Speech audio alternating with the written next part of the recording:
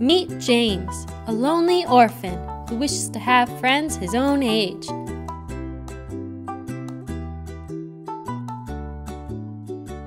This is Miss Spider, who is a bit scary but friendly and lives inside a peach. Would you befriend Miss Spider? Discover these characters in James and the Giant Peach.